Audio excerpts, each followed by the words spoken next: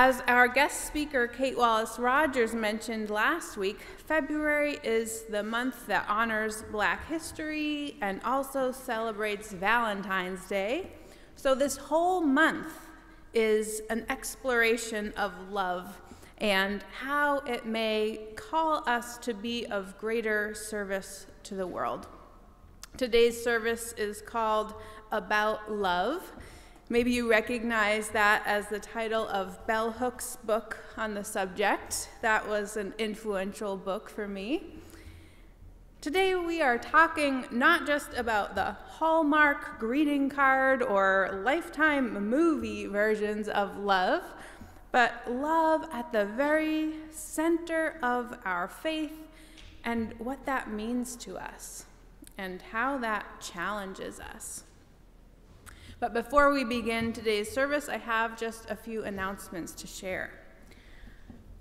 Soon we will be sending out via email a new members directory. We've taken that down off of our website. And this PDF that we send you will be password protected. So please ask our office administrator, Kenneth, either in person or by phone for the new password. You can see we're trying to avoid these terrible phishing scams that just keep going around. We want to protect all of your data. So that's what we've come up with. Look for that in your email boxes.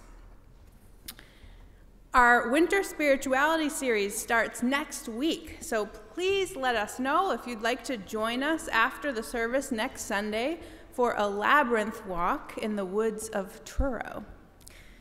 And we're also excited for the Interfaith Singspiration event the following Sunday, February 25th. We'll be joining up with other congregations in town to share our favorite hymns and songs with each other. That should be a lot of fun. There are several other great events too, including one on Zoom about creating a legacy from everyday life. So, not writing a will about distributing your possessions, but writing a will about what you want to pass on, what do you want your legacy to be. We're also having a death cafe where we'll get together, eat cake, and talk about a topic that we don't often get to talk about with others death. There are flyers for these events on the welcome table and also on our website, uumh.org, under the tab called News.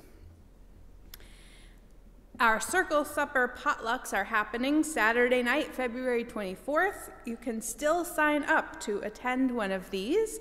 We are actually looking for one or two more host locations as well. So if you could fit four to six people around your table for a potluck dinner, please let us know. You can sign up to either attend or host with Lisa Bergeron. Give a wave, Lisa. She's got the sign up sheet ready for you. I'm not sure how many of you are familiar with the World Day of Prayer. This is a global ecumenical movement led by Christian women all over the world who join together in prayer and action for peace and justice. This year, the prayer program has been written by a group of Palestinian Christian women, and their theme is I beg you, bear with one another in love. Their service shares the stories of three Palestinian women from three different generations, and the symbol of the olive tree is going to be used throughout the service. If you'd like to participate in this service locally on Friday, March 1st at the Wellfleet Congregational Church, please let me know. They are looking for readers. And all of you are invited to attend that World Day of Prayer service at 1 o'clock on March 1st. And finally, if you are attending in person this morning, we invite you to our coffee hour downstairs in Acker Bosworth Hall. You don't have to talk about death, you can talk about other things. But because Mardi Gras is coming up this week, Chef Dan has made us a king cake. So there will be cake. Yes. Thank you, Dan. And today there is also a table set up down there to make Valentines. So stop by that table if you are feeling creative, or if you forgot to get your sweetheart a card for Wednesday. And a little later in the service, I'll tell you who else you might want to craft a Valentine for. And now, let's take a moment to affirm our community's covenant. You can find this on the little purple laminated cards in your pews, or you can just listen line by line as I say it. I invite you to repeat each line after me. Love is the spirit of this meeting house. This is our great covenant. To dwell together in peace, to seek the truth in love, and to help one another. And now, as we light our chalice here in the sanctuary, I invite those of you watching from home to light a candle wherever you are. In this way, we can feel connected even while we are apart. And this morning, I invite Shar and Stuart to light our chalice for us.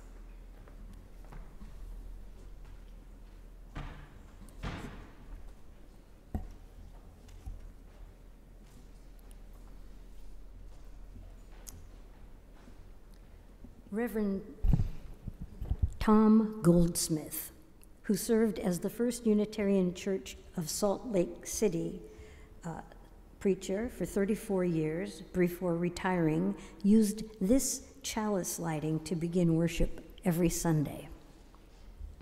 Symbol of light and knowledge, symbol of warmth and freedom, we light this chalice as a symbol of our faith. Here, we gather to celebrate hope and the infinite possibilities of love.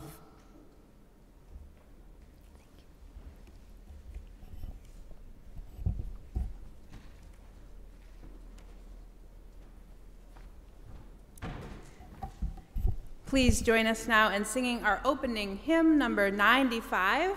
There is more love somewhere. That's number 95 in our gray hymnals. There is more love somewhere. Please rise as you are able.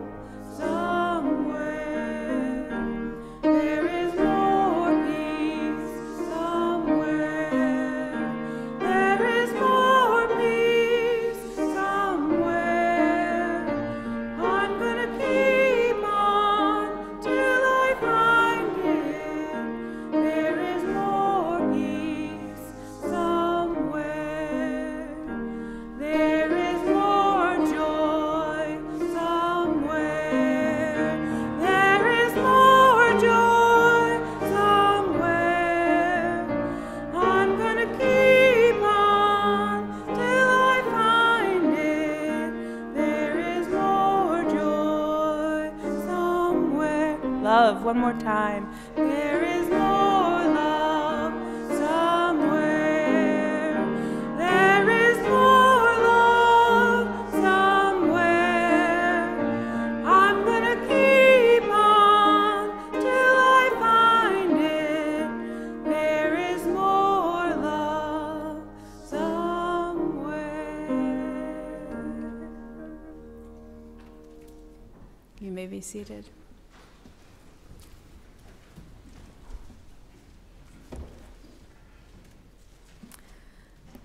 Invite you now into a time of meditation and prayer. During this time or at any time during the service, you are welcome to light a silent candle at the table to the right of the pulpit, where there is a journal to record your thoughts and prayers. After the prayer, we will sing together Spirit of Life, hymn number 123, which you can also find printed on the purple laminated cards in your pews. We'll sing it first in English and then in Spanish. Our prayer this morning comes from the Ojibwe writer Richard Wagamese. I am not created or recreated by the noise and clatter of my life, by the rush and scurry, the relentless chase, or the presumption that more gets more. No. I am created and recreated by moments of stillness and quiet. I am struck richer by a pure solitude that allows me to feel the world around me and lean into my place in it. I am not the rush of words in my life's narrative. I am its punctuation, its pauses and stops. I am my ongoing recharge. And in this silence, I am reborn.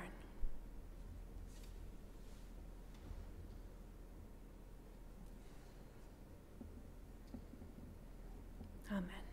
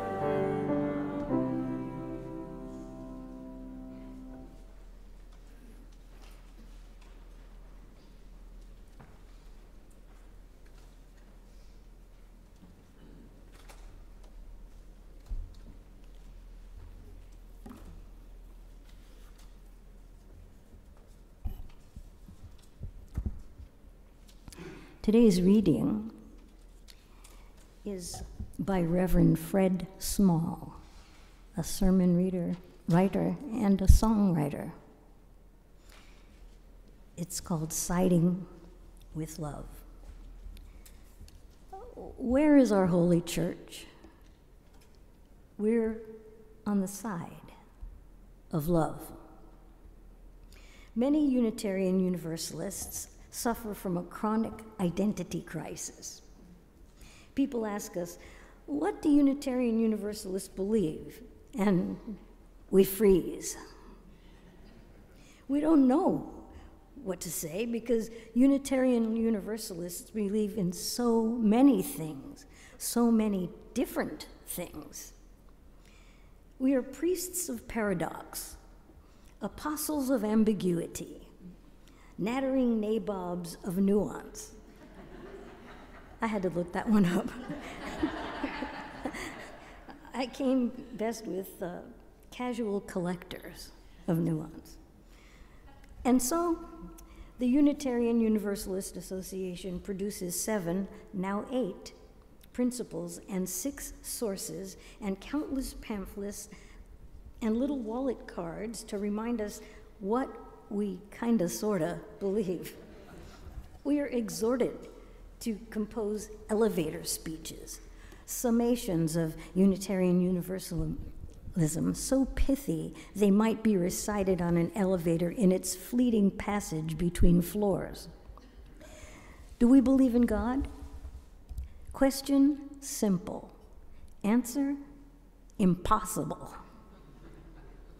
The important question is not what we believe, but where we stand. Define God. Define believe. Define we. Define in. I want to side with love. Of course, when I say standing, Fred says, I'm not talking about a physical posture. Rosa Parks stood on the side of love by remaining seated. Of course, I'm talking about a moral stance, not just assumed privately in our hearts, but wit- witnessed boldly in our families and schools and workplaces and communities, at the State House, in the halls of Congress. I'm talking about faith in action. I'm not talking about sanctimony.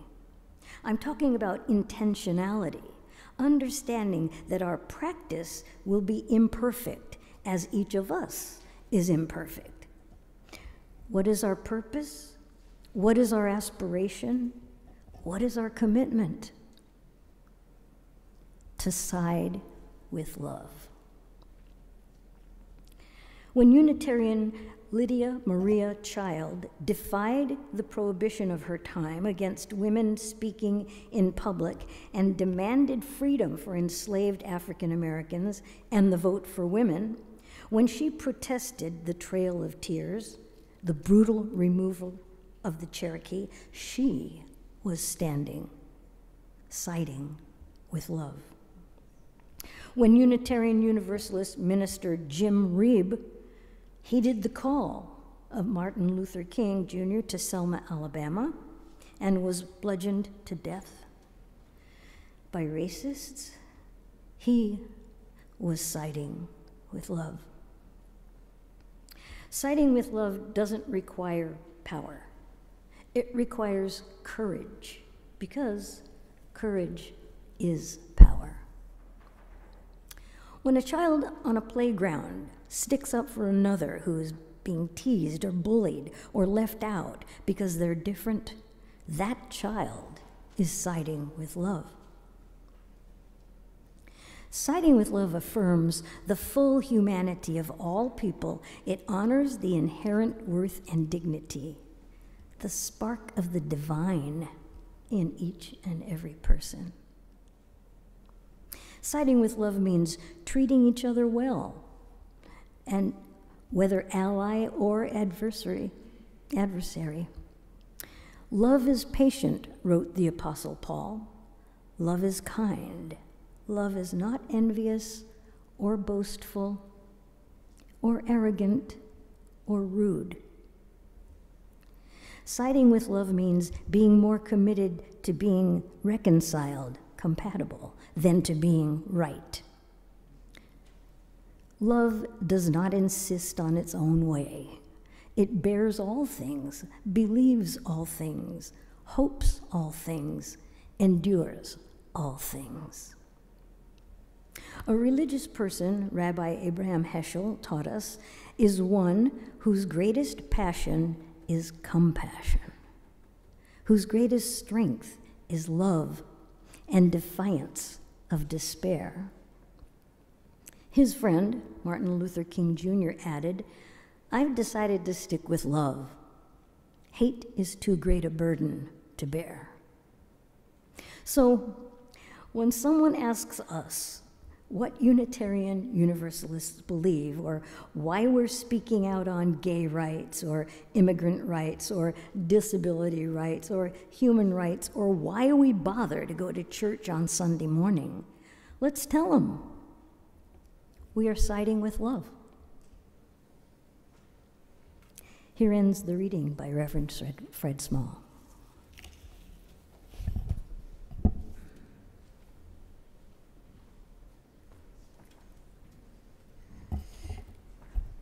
Thank you. Please join us now in singing our next hymn. You'll notice a theme this morning. Love Will Guide Us. It's number 131 in that same gray hymnal. Number 131, Love Will Guide Us. Please rise as you are able.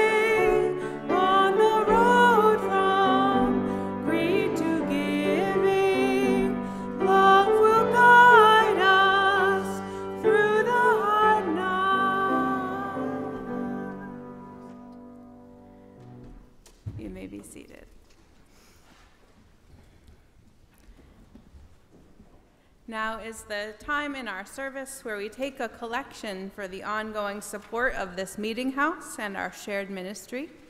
As we enjoy a musical reflection by our choir, we welcome your donations here in the sanctuary or online through PayPal or Venmo. You can find that information on our website, uumh.org, and there are QR codes in the pews as well. At this point, I invite Augie and two other volunteer ushers to come forward for the collection. On and off site, your offerings will now be gratefully received.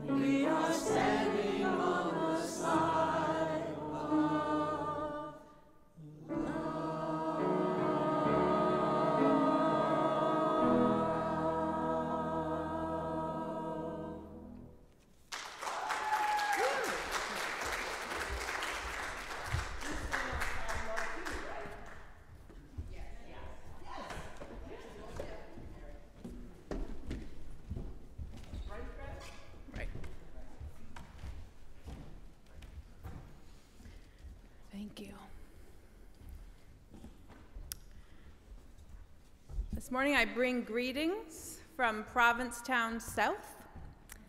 Last weekend I was down in the Gulfport, St. Petersburg area of Florida, where there are many familiar faces.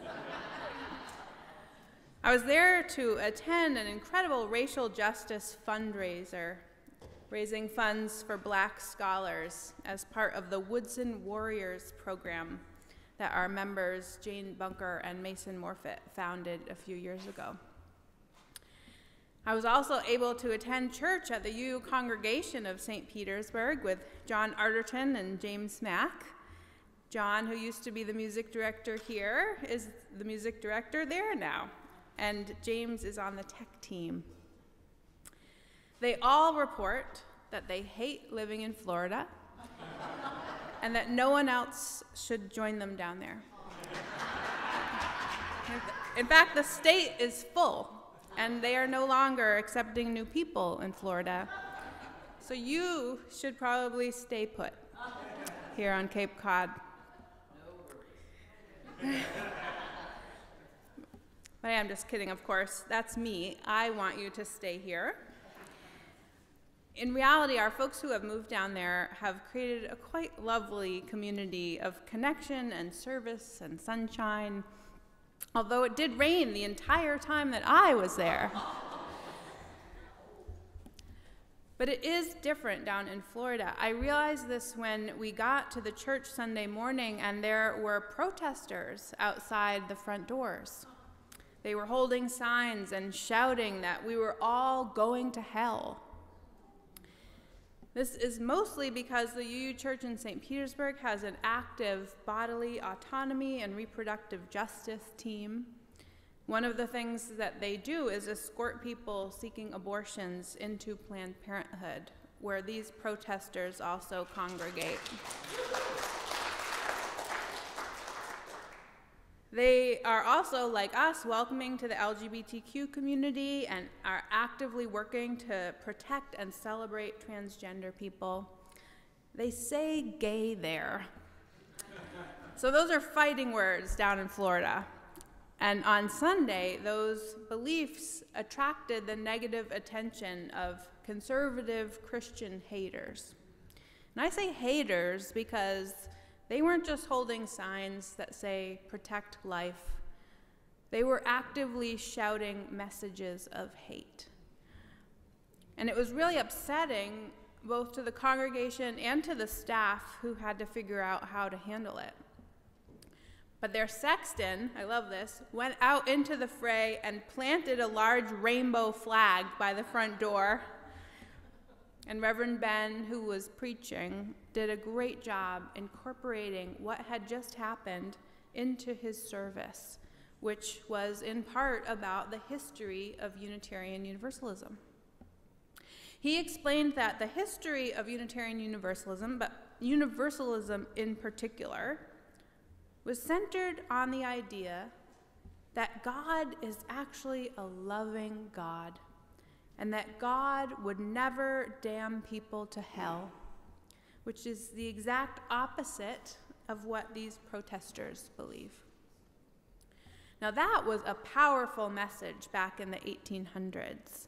I mean, obviously, it is still a powerful message now, but particularly back then when Universalist circuit riders were making their way on horses, making their way west through farming towns and rural communities, where all of the other churches were preaching hellfire and damnation, and when religious participation was in large part motivated by fear. These circuit riders were preaching about love, about God's love and our love for each other, and that love and not fear of damnation or the calling out of our sins should be the center of our faith. And we are still preaching that, although in slightly different terms. And in some parts of our country, those are still controversial teachings. Now, my favorite moment of the service was actually when the worship host welcomed the new people in the congregation and asked them to introduce themselves. And a woman in the back stood up and said, I'm just here because I was driving by and I saw the protesters outside. And I thought, if that's what they're facing outside, then I want to be what's part of what's happening inside. That got big applause down there as well. And then Reverend Ben said, Well, I don't know who's going to break it to them that they're actually recruiting for us.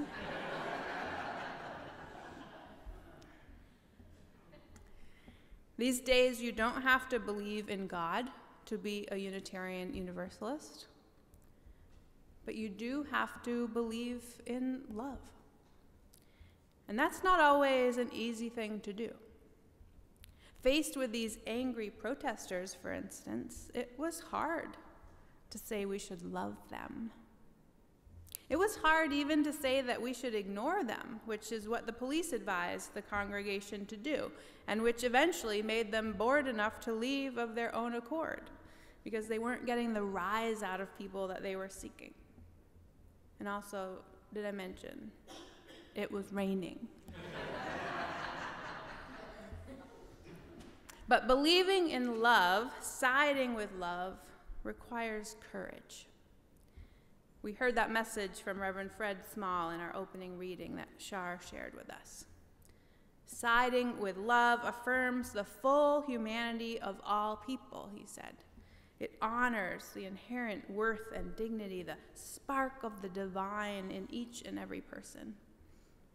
Siding with love, he said, means treating each other well whether ally or adversary. Love is patient, wrote the Apostle Paul. Love is kind. Love is not envious or boastful or arrogant or rude. Recently, my colleague Tess Baumberger played around with these words by Paul. She wrote a piece called If Bell Hooks Wrote 1 Corinthians. If Bell Hooks wrote 1 Corinthians, love is caring, affectionate, and loyal. It recognizes, knows, and respects the other. Love is committed and trusting. Love takes the risk of loving. Love is never hurtful, abusive, or neglectful. It does not coerce or dominate. Neither does it spoil or overindulge. Love is ethical, accountable, and responsible. Love does not lie to avoid conflict or to manipulate. Love does not lie to trick or deceive. Love is on, open and honest, but with a positive slant. Love lives with integrity that wills cooperation. Though it is satisfying to love, love is not about getting one's needs met, nor solely about meeting others' needs. True love is made of mutuality. Love is a generous giver, and in giving it learns to receive. Love places another's interest on the same footing as our own. Love is not so much a feeling as an action and continuing active choice to nurture another's well being. There can be no love without justice and equality. Therefore, love requires that we subvert patriarchy, white supremacy, consumerism, ableism, anti queerness, and other forms of oppression. Can you imagine that version being read at weddings? I love it. I'm up for it. In 2004, the UU musician Jason Shelton was meeting with then UUA President Bill Sinkford when word came that President George W. Bush had called for a constitutional amendment banning same sex marriage. Reverend Sinkford paused from their conversation to take a call from a reporter. They wanted to know what Unitarian Universalists thought of this news. Jason listened to President Sinkford's responses to the reporter, and he heard him say, We are standing on the side of love. Immediately, Jason started scribbling notes and lyrics. It was one of the most powerful, sacred, creative moments I've ever experienced, he says. And that song, Standing on the Side of Love, number 1014 in our teal hymnals, which the choir just sang, flowed through him. The song quickly became an anthem sung at state capitals across the country in the fight for marriage equality. It became a rallying cry when Unitarian Universalists were thrown in jails in 2010 in Phoenix, Arizona, alongside immigrants demonstrating for their rights, and during the Justice GA there in 2012. The UUA even took the name for its public advocacy campaign, making Standing on the Side of Love the slogan our faith was known for in the mid 2000s, emblazoned on can't be missed yellow t shirts that popped out of the crowd at all kinds of demonstrations. At one rally, a reporter was heard saying, I want to speak to the leader of the yellow shirts. This campaign has changed its language in recent years to remove the ableism of the word standing and is now called the Side with Love campaign. After getting feedback about it, Jason Shelton also changed the lyrics to his song, which is now titled Answering the Call to Love. Emboldened by faith, we dare to proclaim we are answering the call to love. While I was down in Florida, John reminded me about a blog that one of my colleagues, Kimberly Debus, writes called Notes from the Far Fringe, which goes through our hymnals song by song, offering commentary. It's educational but also entertaining because she definitely does not love all the hymns in our hymnals, and she is not shy about saying why. But she also offers context and insight into many of them as well. Of the new words to this song, Kimberly says, It is evidence of a living tradition that is forever responding to new ways to draw the circle of love even wider. Now, I'll admit, at first I didn't like the idea of changing the words to this catchy and meaningful to me hymn. But I figured if the composer himself was willing to change, why shouldn't I be? And really, why exclude people when we are being given the tools to so easily include them in a song that is about loving people who are so often not included? You know, even though love has been at the center of our faith for a long time, and it is the very first word in our covenant here at the meeting house, the word love doesn't appear anywhere in our seven UU principles. Did you realize that? For those of you who are new, although we do not have a statement of belief or a creed, we do have these common values that we affirm, and they are articulated in the seven principles. And the newly added eighth principle does include the term beloved community, which is getting closer. But in general, love doesn't appear there. Now, I have mentioned to you, if you've been hanging around here for a while, that Unitarian Universalists are actively trying to come up with new ways to describe Unitarian Universalism. Our principles, as we know them now, were written in 1985, and our faith has evolved quite a bit since then.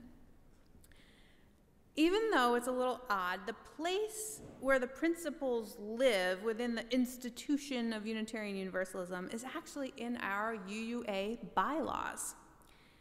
And just like here at the Meeting House, every few years, those bylaws need to be reviewed and updated. And recently, the bylaws review team have taken on an enormous project looking at the principles and sources. And they, of course, created a committee about it. I mean, how else does anything get done at a church? So, the Article 2 Study Commission, now, Article 2 is the exact place in the bylaws where our principles appear, has been meeting and studying and interviewing UUs for several years. And at the last UUA General Assembly in June, they presented a revised Article 2 to the gathering and it was voted on, and it will also need to be voted on again at this year's General Assembly, which is actually happening online. Now, just like the old principles, the new Article 2 is just a little bit too wordy to roll off the tongue very easily, especially for those of us who are bad at memorizing. But someone creative came up with a graphic to represent this new description of the shared common values of Unitarian Universalism. And guess what is at the center of it? Love. That's right.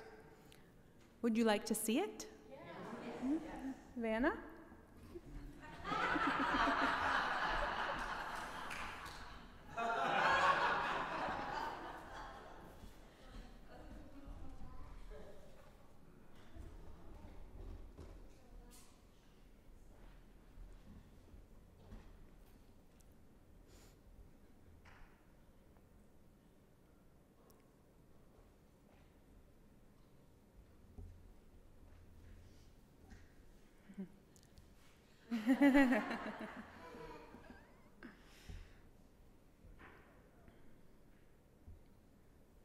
thank you, thank you.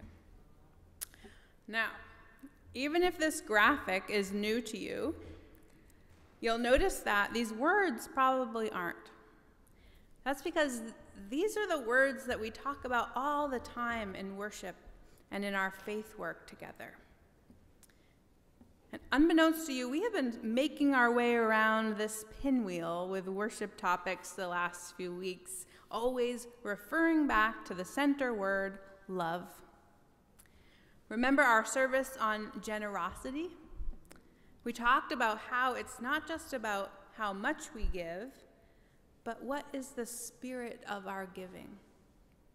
Are we being generous from a place of obligation, resentment, or guilt? Or are we being generous from a place of love? Are we dealing out veggie or mandarin oranges? Refer back to previous sermon to get that joke. We did a reverse offering at the end of that service where we gave out envelopes of cash and asked you to love the world with it. Last week, Kate Wallace Rogers spoke about justice. She talked about the Jamaican community on the Outer Cape and told the story of Pastor David Brown. She asked us to look at that line of our UU Meeting House covenant love is the spirit of this meeting house, and invited us to look deeply at how we are enacting that in the world through relationship and through how we see and interact with the least advantaged people in our communities. Now, we're going to skip around a bit, but next week we're focusing on transformation as we talk about our spiritual paths. And then we're going to talk about pluralism as we get ready for our interfaith singspiration. So I'm excited to continue delving into these themes together and to try on if this little pinwheel design might help us to more actively live out our faith in the world with its constant reminder that love is at the center. Or maybe it's more of a question Is love at the center? Now, I know we have to get over a lot of things in order to embrace that idea. We have to get over the concern that love is somehow a weak word, that it's not fierce enough for our justice work or strong enough for our doubts. We might worry that it's too saccharine, too sugary and sentimental.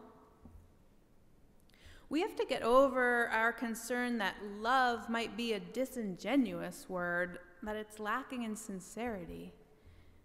Maybe we fear that we are lacking in sincerity if we say that our faith is based on love, because we see it as something we are promising rather than something we are striving for. And can we really promise that? Can we promise to love? Maybe we've had to set some limits and boundaries lately, and we wonder how that is compatible with love. Maybe we have to get over the feeling that love has not showed up for us in our own lives. Maybe we are grieving or hurting. Maybe we have difficult histories with parents or partners or religious communities who did not show love. And so, love being at the center feels like an impossibility. Maybe we don't know if love is strong enough to counter evil. A lot of horrible things are happening in this world. Is responding in love adequate? Now, maybe we have to get over our dislike of change. It's okay to say that we actually really like the eight principles and we will miss them. Or the fear that we cannot change. Can we really learn to live a life with love at the center? Can we transform? You know, maybe we're not there yet. But maybe this pinwheel thing is aspirational. Maybe this faith thing is aspirational. We're not there yet. But maybe we are being called there. Maybe the ultimate task of our faith journey is answering the call to love. Now, this feels like a really good moment to sing Jason's song again, but I want you to help me with something. I want you to help me to change the words. Augie, can you help with this? We're going to hand out pencils. Mary has them. And I want you to change the words standing on the side of love to answering the call to love.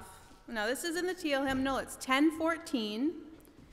1014 in the Teal hymnal, and I know, I know, you have always been taught not to write in books, right? And certainly not in a hymnal.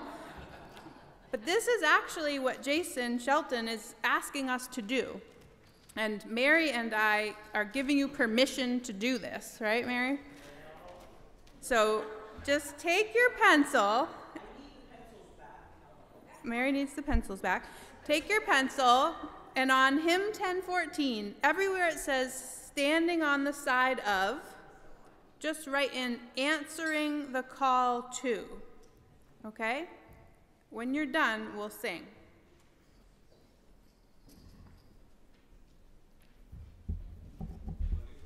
Answering the call to love.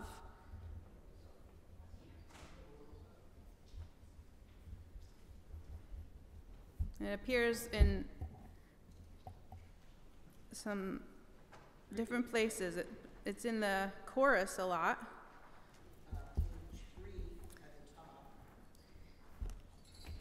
Why doesn't this hymnal have page numbers, Mary? Um, Pick- They do. You see the song? It says three. That's the third page. Look at the top of the page and it says standing on the side of All right, standing on the side of love three, you have to cross it out there. Answering the call to love.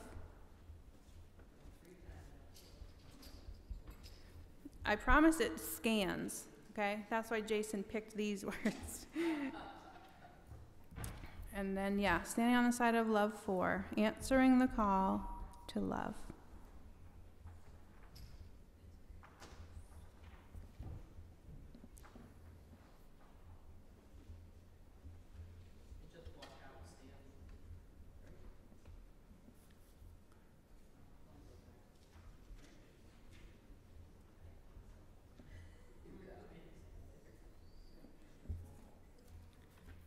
Okay.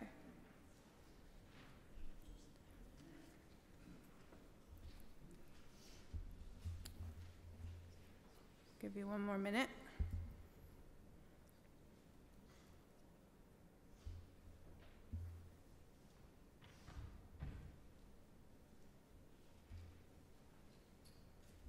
Got it? Let's sing it with the new words. Please rise as you are able for answering the call to love.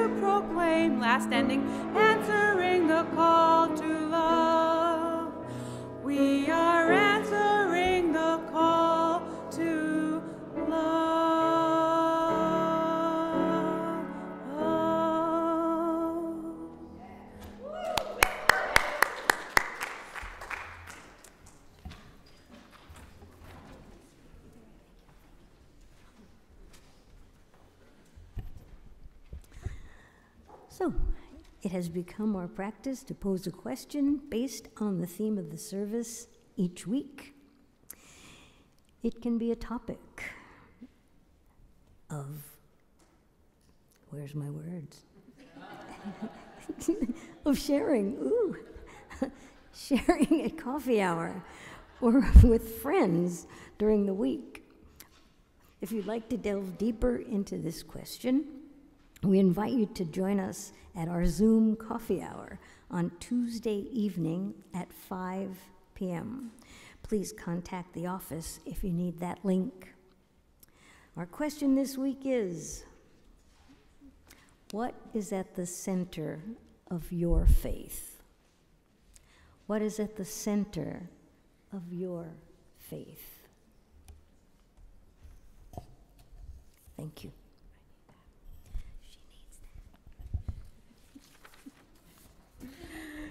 Thank you for joining us this morning. Thank you for joining us online this morning. If you're here in person, I hope you'll stay for coffee hour and maybe you'll make a Valentine. I told you I'd give you another idea of who to send a Valentine to, and it's the staff and congregation at the UU Congregation of St. Petersburg, the ones who had to face those hateful protesters. Even though they live out their values boldly, it was still a really upsetting event for them. So, in case they're getting messages of hate again this morning, let's send them some love notes, shall we? I'll collect them all and send them down in a big envelope. Maybe they'll even get there by Wednesday. And I'll close with these words Sometimes we build a barrier to keep love tightly bound. May this place and these people and the words we share here and the songs that we sing here help to unbind our hearts, to move us toward a place where love really can be at the center. We may not be there yet, but emboldened by faith, let us dare to proclaim that we are answering the call to love. Go in peace.